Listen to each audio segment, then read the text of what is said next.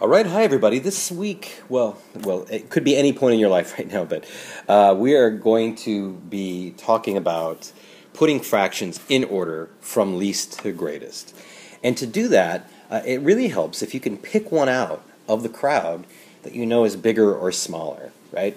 Because then you're just left with two, right? So let's uh, see if we can use estimation to figure out which one of these fractions is the biggest. So let's uh, take a look here. The 6 tenths, right? I know half of 10 is 5. So 5 tenths is half. This is more than half, right? So this one is more than half. Change colors here. Uh, 3 sevenths. I know half of 7 would be 3 and a half out of 7, right? So 3 and a half pieces out of 7 would be half. This is less than half. Right, so I'm just I'm not really doing too much math here. I'm just quickly looking at these and saying, and this I know, whoa, uh, half of eight would be four. This is way more than four. In fact, I know that eight eighths is one whole, so I know this one is more than one whole. So check this out. We can say this is more than one. This is this one is less less than half, and this one is more than half. And you should be able to figure out which one is the smallest at this point, right? Just by using the sort of mental estimation. Um, so three sevenths, something that's less than half of a package, uh, is smaller than something that is more than half of a package. I'm thinking of a package of M&Ms or cookies or something. You could think of it as a dollar, right? This is three sevenths is less than half a dollar. Six tenths is more than half a dollar, right? And nine eighths is more than one whole dollar. So that one is bigger than all of them, right? If we were drawing this, I could say, okay, here is a whole dollar. Three sevenths is less than half. I could say six tenths is more than half, right? So a little bit more than halfway. And 9 eighths would be a whole dollar and a little bit more. I'll just draw some coins out here, right? 9 eighths is more than one whole. So what I've done here with these uh, red, blue, and purple, I mean, this is sort of mental math. I was drawing it, but normally we want to just kind of think this in our mind, right? What makes half of 10? What makes half of 7? What makes half of 8? And, and then if you've got something that has a really large number on top, bigger than the denominator, you might say, think to yourself, well, what makes one whole? And is this more than 1? Yeah, 8 eighths is 1, so this is more. Right, so sometimes, if you're lucky, you can put them in order with just some, some mental math, right? Let's see if we can do that again with this one. Um, 3 fourths, 6 eighths, and 2 sevenths. Well, I'm going to say I know that this one is more than half. Right? And hopefully you can understand why, right? 3 is more than half of 4. 6 out of 8. Oh, well, I know that half of 8 is 4, and 6 is definitely more than that, more than half.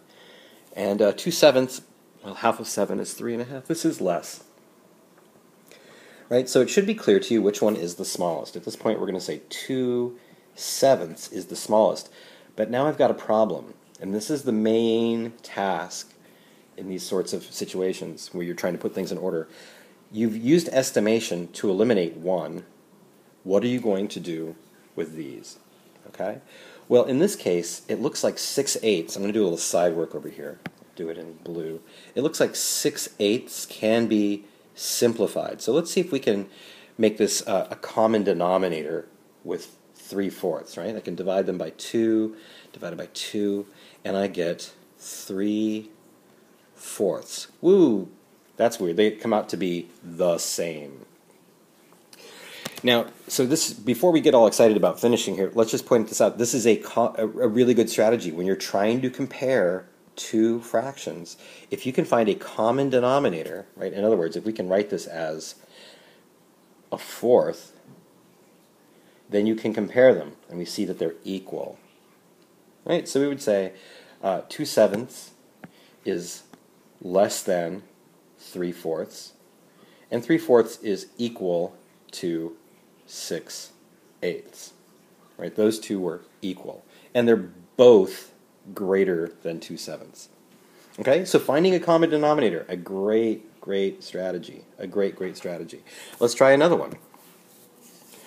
Oh, now these denominators are, these are the kind of things that freak people out, right? We got 21sts, we got sevenths, we got eighths. But don't worry, you're going to use what you know, right? Half of 21 would be 10, what, 10 and a half? This is more than half. 4 out of 7, we know that's more than half, right? Because we know half of 7 is three and a half. and 2 eighths, oh, well, we know that's less. So right away we can say that this one is the smallest. 2 eighths is the smallest. Here, we're going to try and find a common denominator. So I'm going to try and simplify 15 over 21.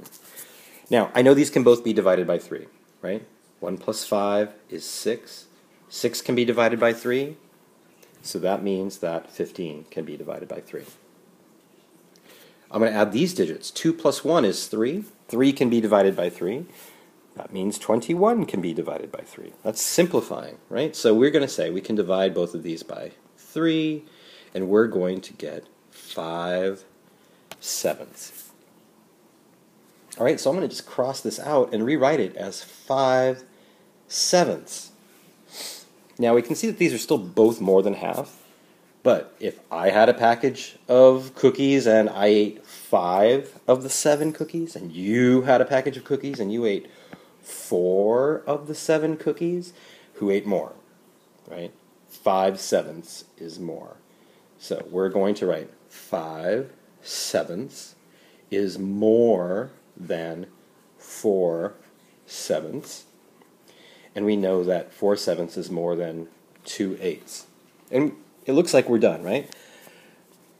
But I don't want you to make this mistake. Five sevenths was never one of our numbers to start with, right? We changed it.